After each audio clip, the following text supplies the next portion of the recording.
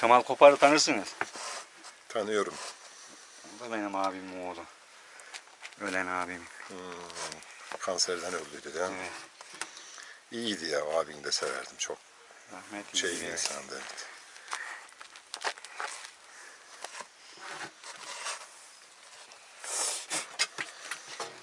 Ayran yapsın değil mi? yok yok teşekkür ederim çok sağ ol. Sana zahmet verdik ya. Ne demek zahmet ha? Yeter yeter. Fazla koyma. İyi. Çok sağ ol. Ha.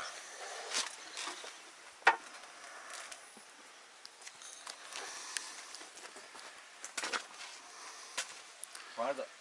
Ali amcam vardı. Ankara'da duruyor. Hmm. Bu yarın gidiyor Ankara'ya.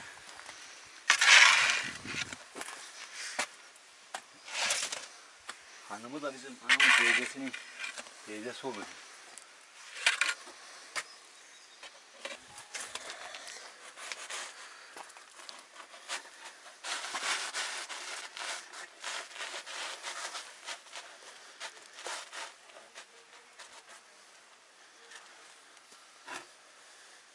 Şimdi sıkınca acık burada karıncalar yer.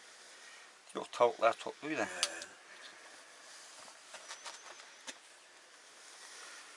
Vay.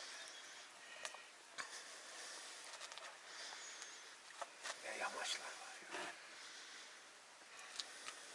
Kışın video falan çekmişsiniz. Diyorum İstanbul'da.